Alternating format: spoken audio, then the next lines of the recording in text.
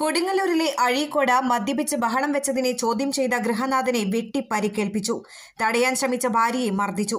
Azhikode light രാമൻകുളത്ത് നാൽപ്പത്തിമൂന്ന് വയസ്സുള്ള ജലീൽ ഭാര്യ മുപ്പത്തിനാല് വയസ്സുള്ള സുൽഫത്ത് എന്നിവർക്കാണ് പരിക്കേറ്റത്. ഇവരെ കൊടുങ്ങല്ലൂർ താലൂക്ക് ഗവൺമെന്റ് ആശുപത്രിയിൽ പ്രവേശിപ്പിച്ചു. ഞായറാഴ്ച രാത്രിയിലായിരുന്നു സംഭവം.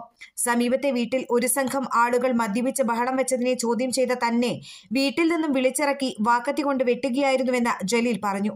സംഭവവുമായി ബന്ധപ്പെട്ട മൂന്ന് പേർക്കെതിരെ കൊടുങ്ങല്ലൂർ പോലീസ് ഇന്ന് രാവിലെ കേസെടുത്തു. വീടിന്റെ പറഞ്ഞു ഇവിടെ നിന്ന് മദ്യപിക്കാൻ മദ്യപിക്കാൻ പാടില്ലെന്ന് പറഞ്ഞു.